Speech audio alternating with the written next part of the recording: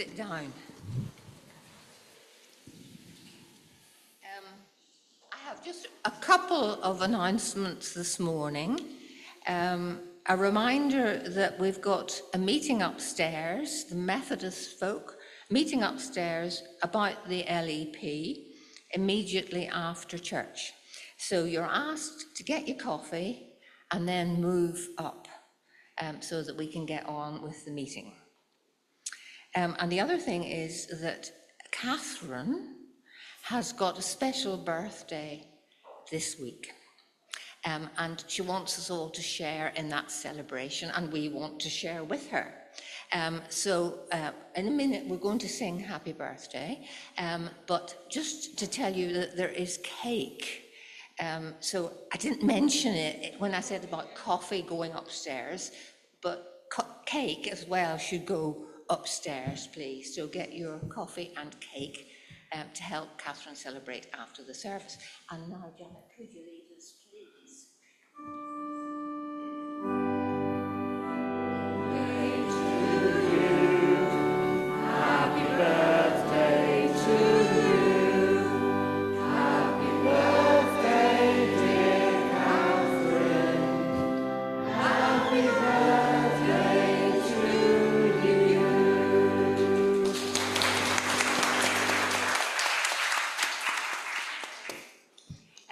And now all that's left for me to do is to hand over to David here. You all know David Spears, I'm sure. If not, well, you're in for a lovely service this morning and you'll get to know him better throughout that. David, all yours. Thank you, Lois. The Lord be with you. It's wonderful to be here at Kingsthorpe Baptist Church for this service of all age worship as we come together to worship God this morning and celebrate his love for us. Let's just begin a moment of quiet so we can be aware of God's presence amongst us this morning, uh, holding us in love and inviting us to draw closer into his presence that we might be shaped by his word and by his grace.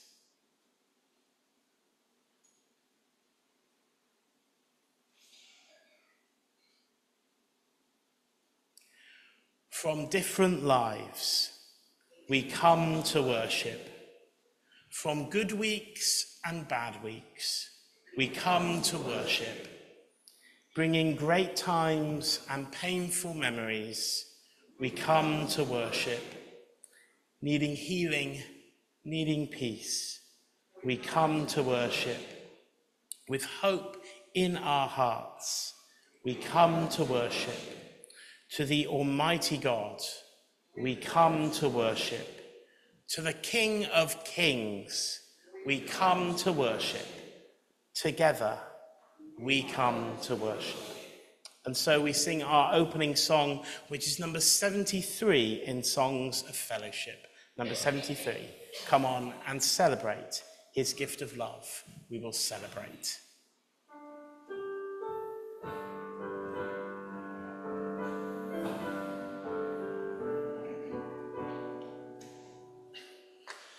Come on and celebrate.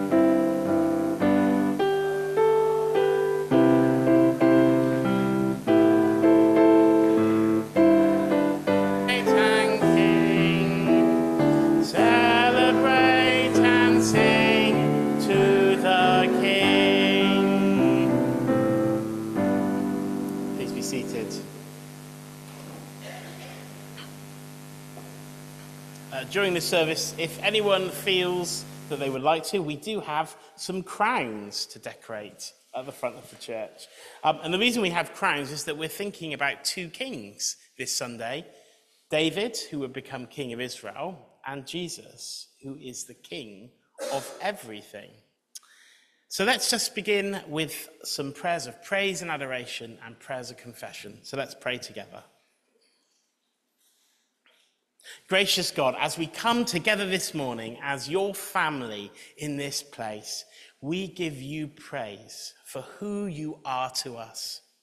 Our amazing God who created everything that is seen and unseen, the earth below and the heavens above. All of it is part of the patchwork that you have woven together. And we give you praise for the love and the care that you have for each and every one of us. That you are not an isolated God, but that you are involved in our lives from the very beginning. You know us better than we know ourselves. You knitted us together in our mother's wombs, and you journey with us through life. Gracious God, we praise you for your Son, Jesus, who came down amongst us so that we might see you face to face, so that we might know your love in his teaching and healing and feeding and all that he is and has done. And most of all, we praise you for what Jesus has accomplished through the cross and the resurrection, the promise of new life and life eternal for each and every one of us who accepts the gracious invitation of Jesus to be within our lives. And we praise you too for your Holy Spirit that gives us life, that guides us, counsels us, strengthens and comforts us in times of challenge and difficulty and reminds us that you are real and you are here today. Yet, Holy God, we confess that so often we forget all these things. We do not put you at the center of our lives, but instead we try to work on our own power, our own strength, our own ability, and we stumble and fall. Gracious God, we want to say sorry for the ways that we have not followed you, for the ways that we have not loved you or loved our neighbor as we should have done, and for the ways that we have not done the things that we should have done.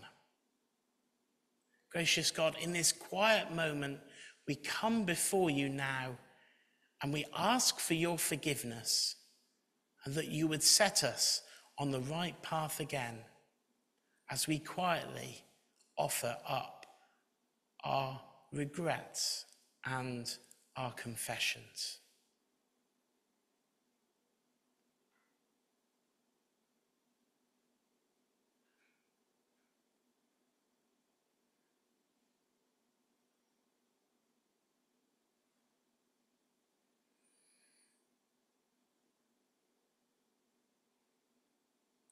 Merciful God, you take away the sins of the world through Jesus. And through your Spirit, we are set free, liberated by your love, and offered the way of Jesus. So set our hearts and minds in your love and guide us on our journey together as your people And we thank you that you forgive us fully in Christ. And so we offer the prayer that our Savior and friend Jesus taught his disciples as we now pray together Our Father, who art in heaven, hallowed be thy name. Thy kingdom come. Thy will be done on earth as it is in heaven.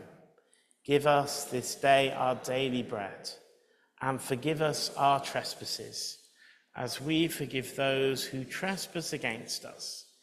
And lead us not into temptation, but deliver us from evil. For thine is the kingdom, the power, and the glory, forever and ever. Amen. I'm going to show you some slides now some images, and I'd like you to tell me what you see on the screen. So, what do you see? What is that an image of? An old woman. Someone says a young woman. Is it an old woman or a young woman? Who thinks it's an old woman? Put your hand up. Who thinks it's a young woman? What of you thinks it's a young woman? So those of you who think it's a young woman might be seeing this. This is a necklace here, and that is her face kind of looking that way. But if you see that as her mouth, and that as her eyes, you might notice it turns into an elderly woman. Okay, let's have a look at another image.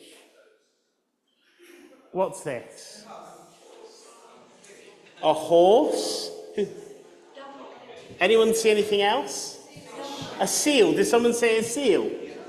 Who thinks it's a horse or a donkey? Who thinks it's a seal? A few of you do. So you might think it's a, a donkey because you've got the ears at the top, the eyes there, the nose. But actually, if that is a face there, and that's a, a philippa, and those are the back flippers, you might be able to see a seal as well. Okay, let's try another one. We've got two more. What's this? A duck and a rabbit. so if you're looking in this direction, you might see the beak and the eye, but if you're looking in this direction, you might see the eye and the ears. Okay, and we've got one more. What colour is the dress? Black and blue. Does anyone see gold and white? Somebody do. Who sees black and blue? Who sees gold and white? Mm, interesting. it is, in fact, a black and blue dress, but the way that the light is reflecting on it means that our eyes can interpret it in another colour. Because it's possible to see things from different perspectives, and it's possible to see one thing but not see another thing. And that's what we're looking at in this service. We're looking at David, who was a little boy who would become a king and defeat Goliath. And we're also looking at Jesus and his rejection in Nazareth. So we're going to watch a short video now, and it's all about David and Goliath. Slapstick Theater. David and Goliath. This is David. Hey. David was a shepherd who lived in Bethlehem. David was chosen by God to be the next king of Israel when he was just a boy. But David had to wait a very long time until that promise would come true because there was another king of Israel named Saul. Saul led the armies of Israel. One day, King Saul was with his army near the valley of Elah. On the other side of this valley, the Philistines, the enemies of Israel, gathered their army ready to fight. The Philistines had a giant warrior named Goliath who challenged the Israelites. Hey. Goliath spoke badly of God and his people. He shouted and taunted them, saying, Choose one man to come down here and fight me. The Israelites and King Saul were very afraid. Meanwhile, David's father sent David to bring some food to his brothers and their captain. Goliath came out of the Philistines' army, and David heard him shout his usual mean taunts to the army of Israel. Whoa, what? As soon as the Israelites saw Goliath, they began to run away in fright. See ya. David asked, who is this Philistine anyway, that he has allowed to defy the armies of the living God? David's questions were reported to King Saul, and the king sent for him. Uh, hi. David said, Don't worry about this Philistine. I'll go fight him. Saul said, There's no way you could fight him and win. You're only a boy. Wait. But David told Saul that he had taken care of his father's sheep and rescued them from lions and bears. Then David declared, The Lord who rescued me from the claws of the lion and bear will rescue me from this Philistine. So Saul said, All right, go ahead and may the Lord be with you. David picked up five smooth stones from a stream. Then, armed only with his shepherd's staff and sling, he started across the valley to fight Goliath. When Goliath saw him coming, he sneered at him and yelled bad things at David. But David said, You come to me with a sword, spear, and javelin, but I come to you in the name of the Lord of heaven's armies. Goliath moved closer to attack, and David quickly ran out to meet him. He hurled a stone from his sling and hit Goliath in the forehead. The stone sank in, and Goliath stumbled and fell to the ground. So David triumphed over the Philistine with only a sling and a stone, for he had no sword. But he knew the power of God and trusted God to win the battle against the giant.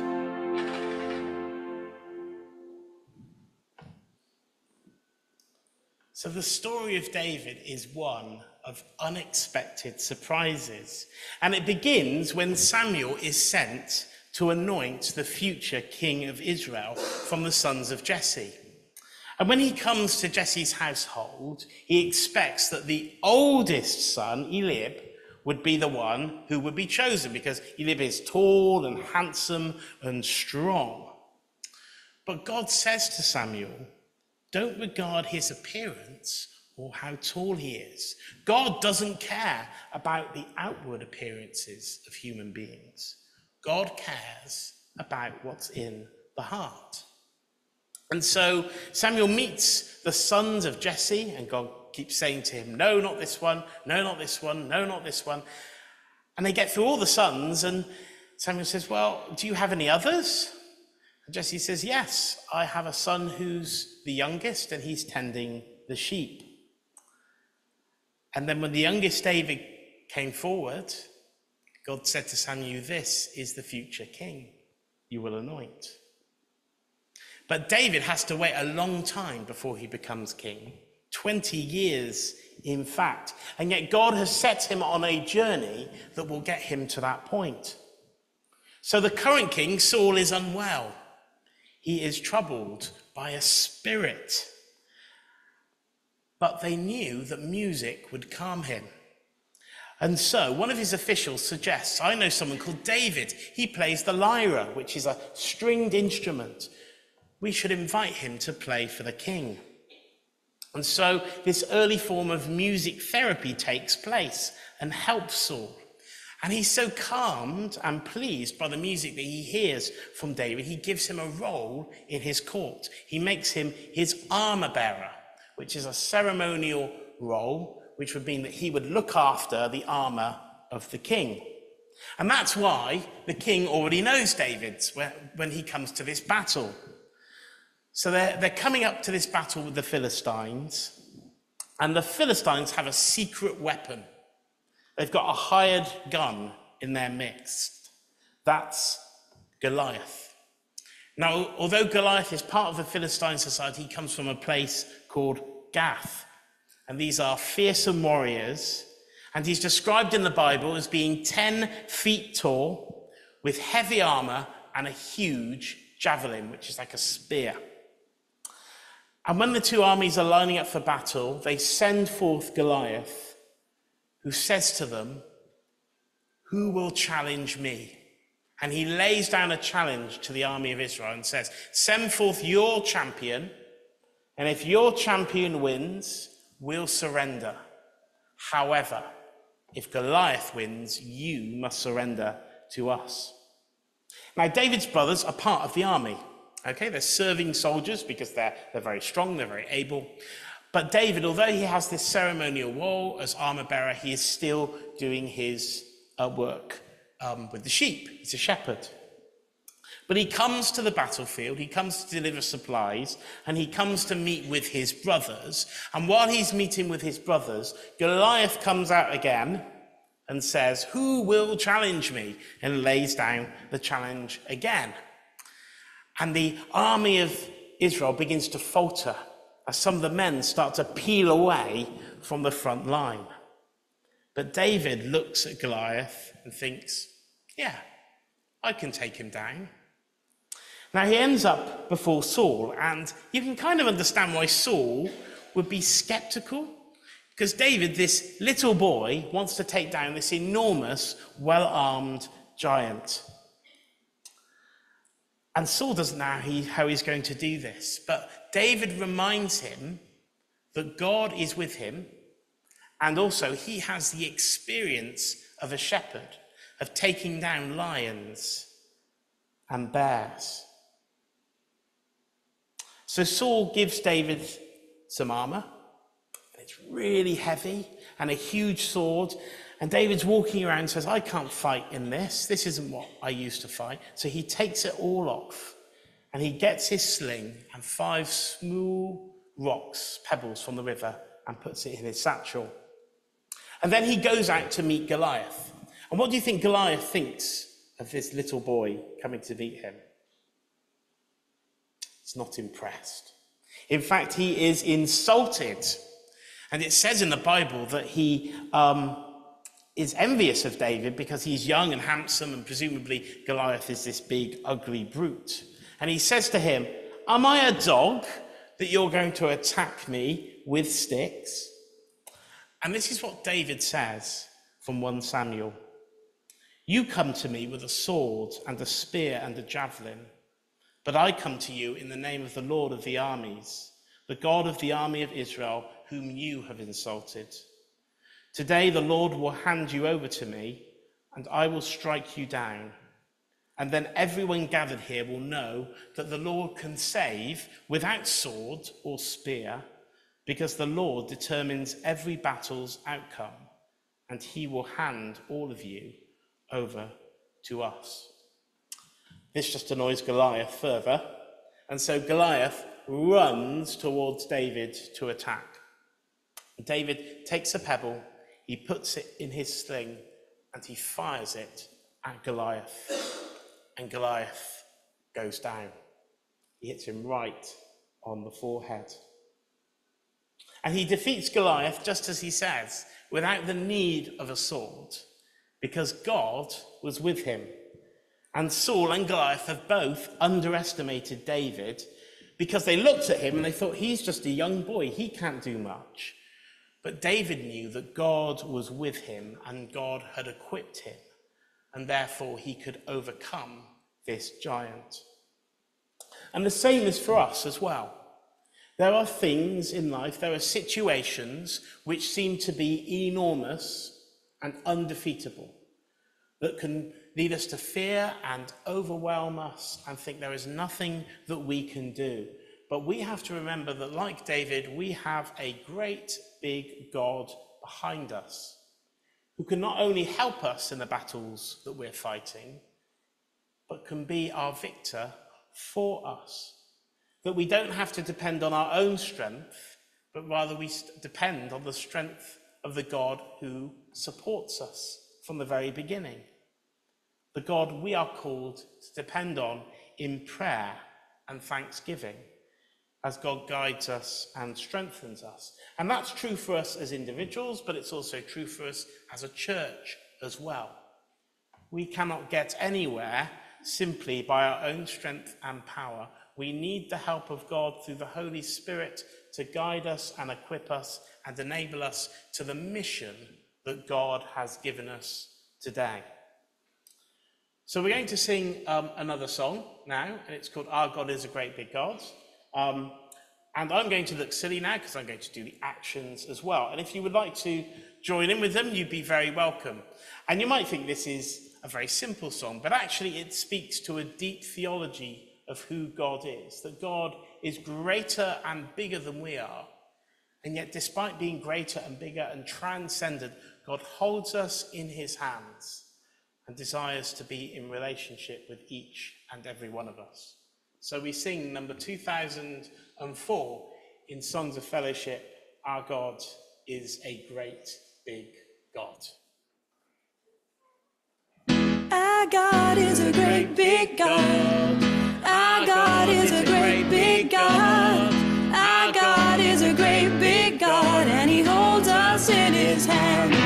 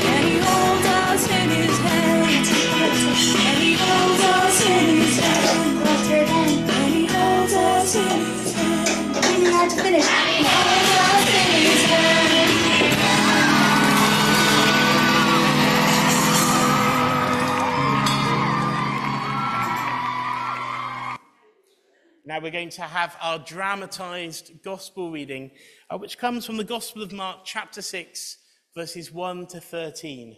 Jesus is rejected at Nazareth and sends out the 12 on a mission.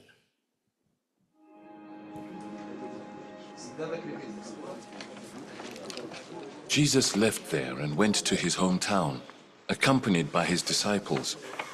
When the Sabbath came, he began to teach in the synagogue, and many who heard him were amazed. Where did this man get these things? They asked. What's this wisdom that has been given him? What are these remarkable miracles he is performing? Isn't this the carpenter? Isn't this Mary's son and the brother of James, Joseph, Judas, and Simon? Aren't his sisters here with us? And they took offense at him. Jesus said to them, A prophet is not without honor except in his own town, among his relatives, and in his own home. He could not do any miracles there, except lay his hands on a few sick people and heal them. He was amazed at their lack of faith. Then Jesus went around teaching from village to village. Calling the twelve to him, he began to send them out two by two and gave them authority over impure spirits. These were his instructions. Take nothing for the journey except a staff. No bread, no bag, no money in your belts. Wear sandals, but not an extra shirt. Whenever you enter a house, stay there until you leave that town. And if any place will not welcome you or listen to you, leave that place and shake the dust off your feet as a testimony against them.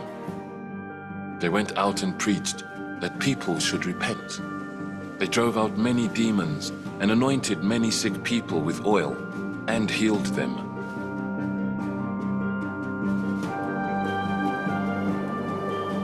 King Herod heard about this, for Jesus' name had become well known. Some were saying, John the Baptist has been raised from the dead, and that is why miraculous powers are at work in him. Others said, he is Elijah, and still others claimed he is a prophet, like one of the prophets of long ago.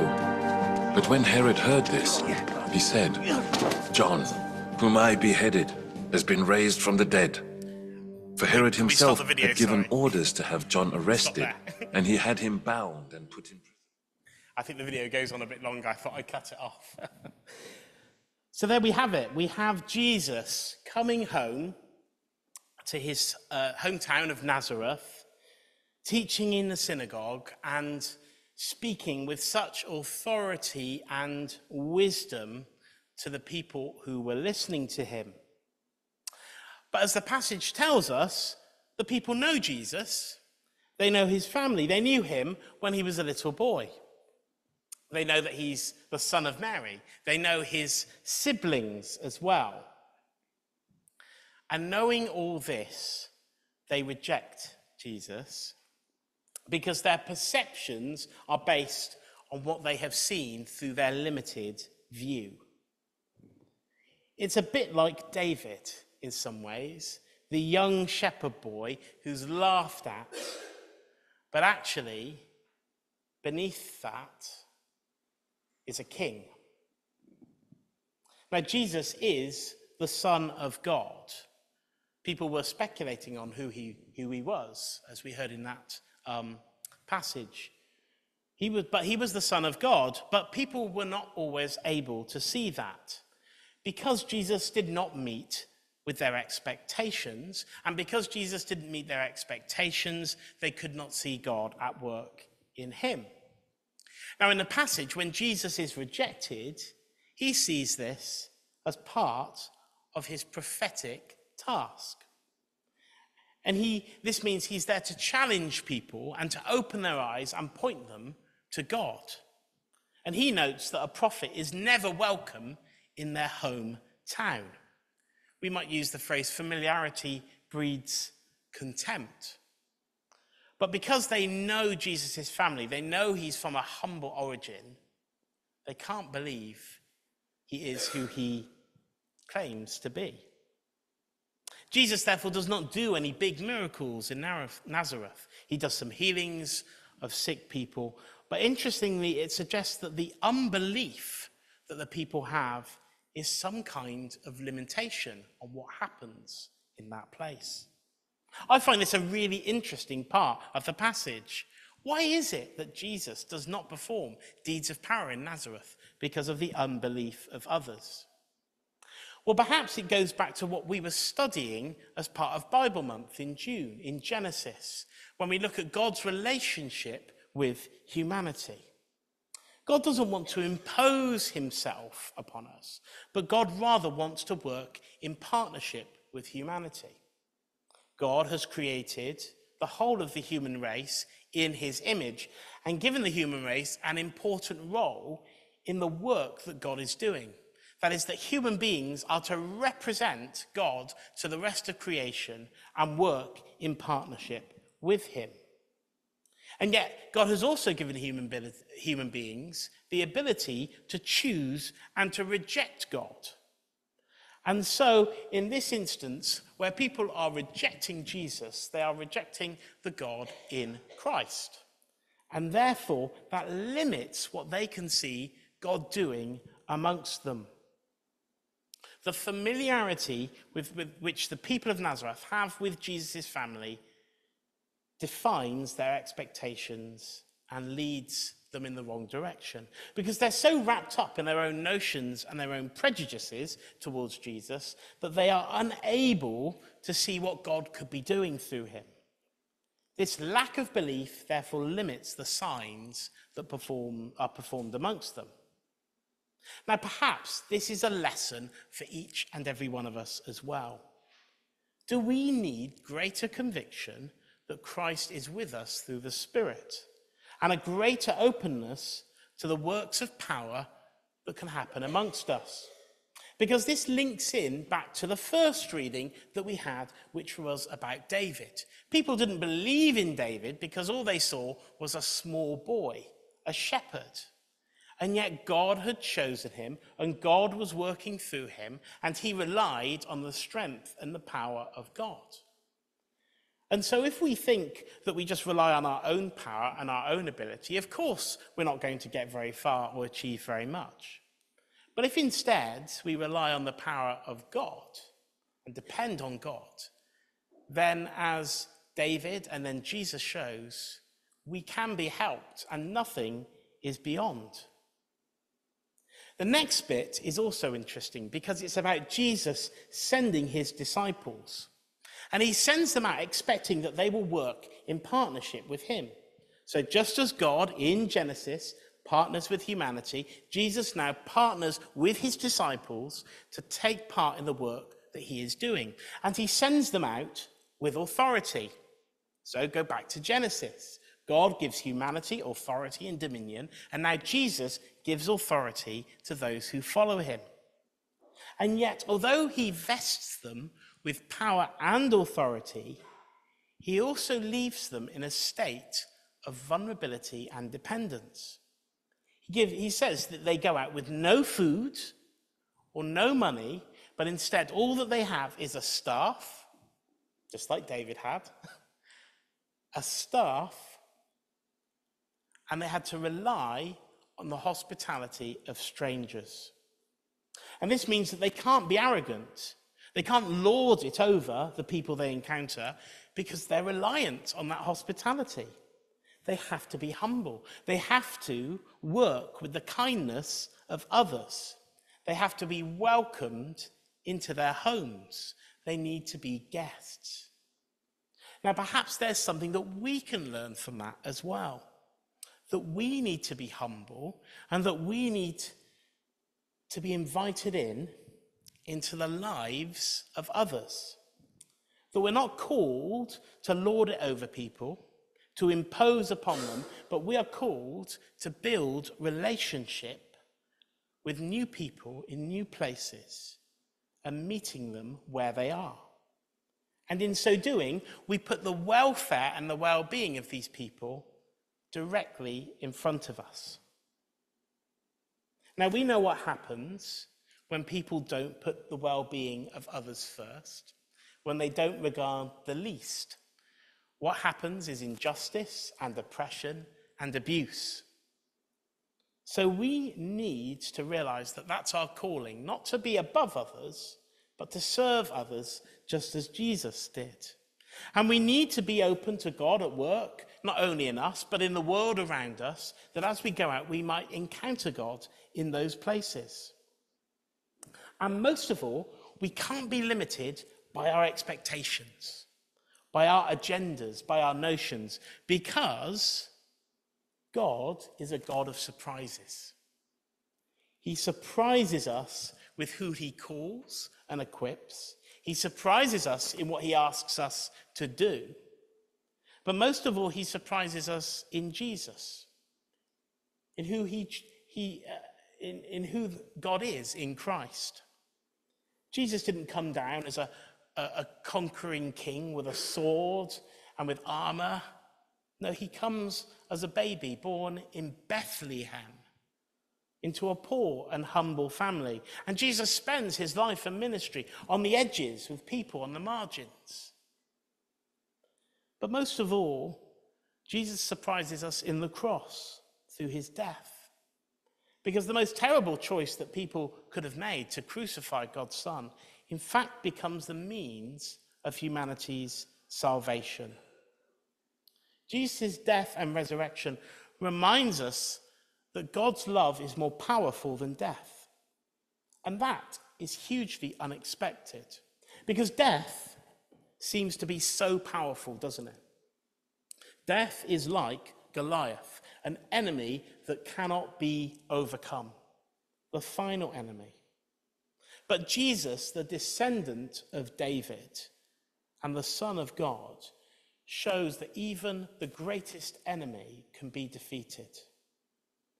Jesus' victory on the cross and his resurrection defeats sin and death for us.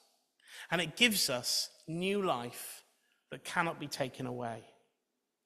Jesus offers a promise that we will always dwell with God forever and that nothing in the whole of creation can separate us from the love of God. And that's the essential message of the two passages that we've heard this morning that God is with us, God holds us, and God never lets us go. And in Christ, even death has been overcome for us. And that's why we give thanks this morning. Not because life isn't difficult or challenging, that there aren't obstacles that we have to occasionally overcome and difficulties that we have to get into, but that we have a God who is with us, who holds us in love and doesn't hold back, who gives us the gift of eternal life and sacrifice in his Son Jesus. And for that, we give our thanks and our praise. Amen. So we're going to sing again now.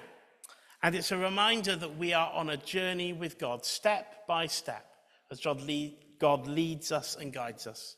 Number 1483 in Songs of Fellowship. One more step along the world I go. One more step along the world I go.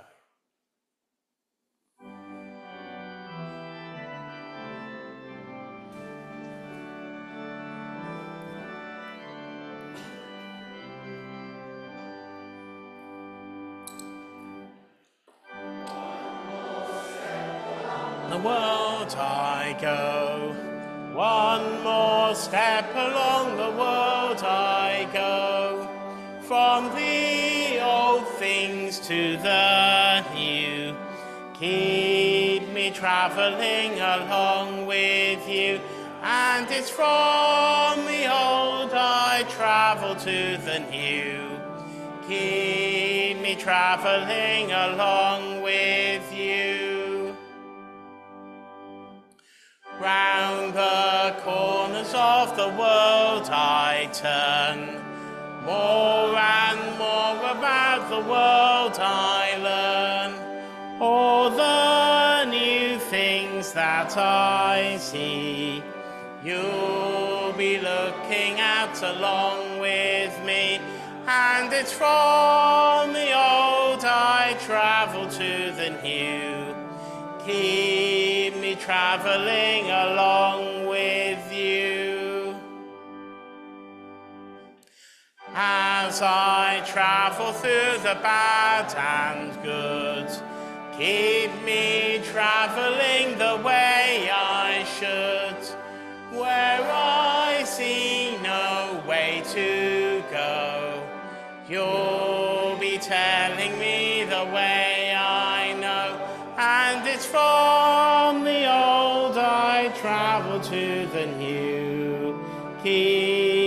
traveling along with you. Give me courage when the world is rough. Keep me laughing though the world is tough. Leap and sing in all I do. Keep me traveling along. And it's from the old I travel to the new. Keep me traveling along with you. You are older than the world can be. You are younger than the life in me. Ever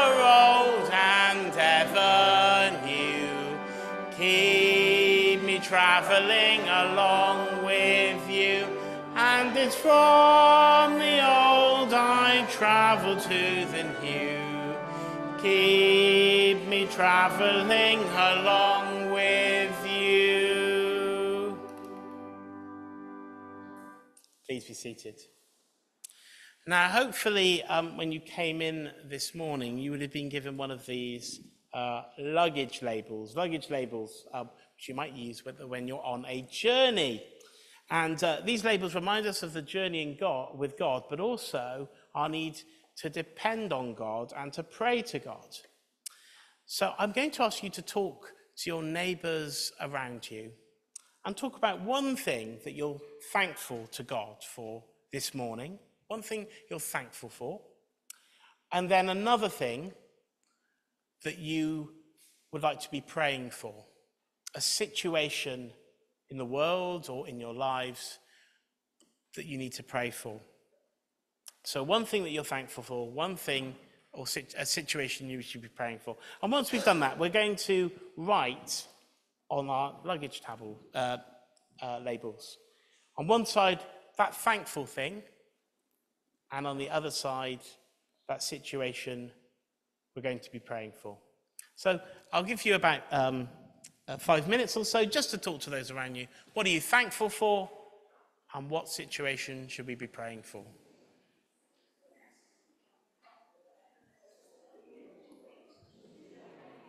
Talk to you, right here. What are you thankful for this morning? Good health. Good health. yeah.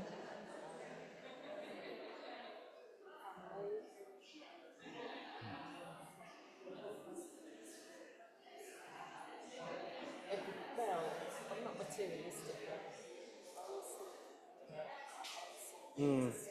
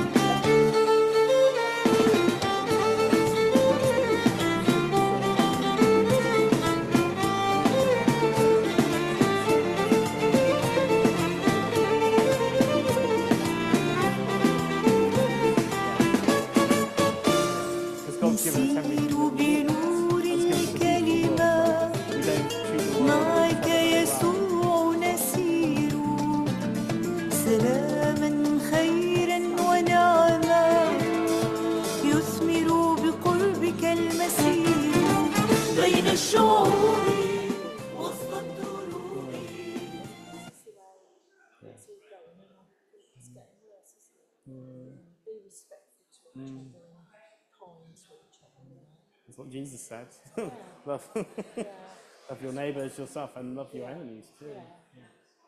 Well, um, hopefully people are starting to, to like their neighbours. Um,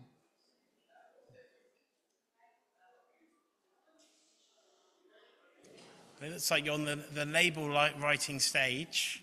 So, one thing you're thankful for, and one situation to be praying for. And then, once you've written your label, I invite you to come forward and to place the label on this tree in front of us, the prayer tree.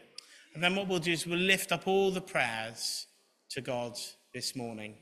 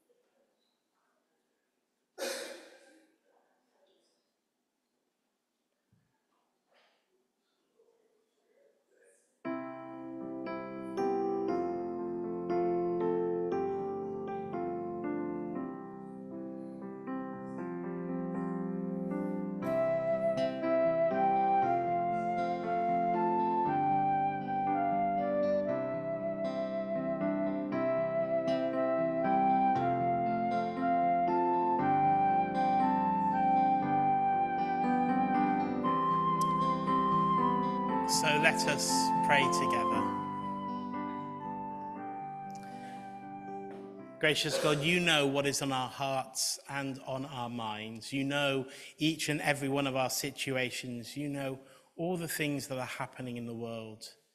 Yet we come before you now in thanksgiving and in intercession to offer these our prayers to you as we give thanks for who you are and your love for all of creation but also that the world is marred and damaged and that healing and wholeness is needed. And so we lift up these prayers to you and ask for your help in all these situations.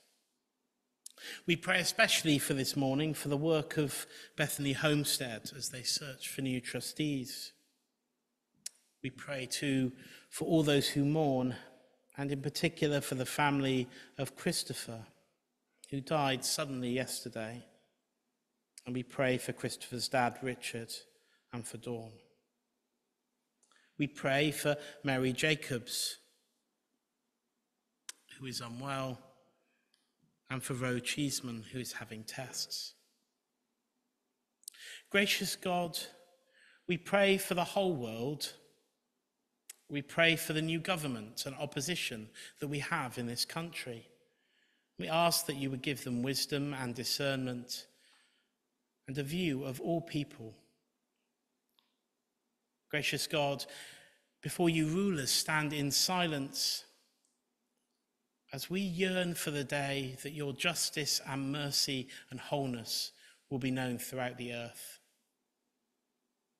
And so we pray for all those places where there is division and conflict, where there is poverty and exclusion. And we are reminded that we are called to be part of your work in this world, to offer healing and wholeness, to take part in what you are doing amongst us reconciling us with each other and with you, and enabling every human being to flourish in the fullness of their humanity as we are made in your image and in your likeness. And for us, Jesus came to save. So, gracious and loving God, we pray for all these concerns and we pray for the church and our role within the world. Help us, we pray. Give us a vision and enable us to depend on your grace and love as we walk with you in your love and grace. In Jesus' name, amen. And now we will um, have our offertory for this morning, or we not? Is that retiring collection? It's a retiring collection. Excellent. Adrian's nodding to me. So, so we'll go. Uh, um, so just to remind you, there is a retiring collection at the end of the service, and uh, we also have a meeting afterwards. Uh, uh for the, for the Methodists, um, looking at how we're moving together as two congregations. Um, so at the end of our service, we're going to sing a song, a song which is all about walking and marching with God. We are marching in the light of God. We are marching in the light of God. And if you wanted to march along on the spot, you're very welcome to. Number 1076 in Songs of Fellowship, we are marching in the light of God.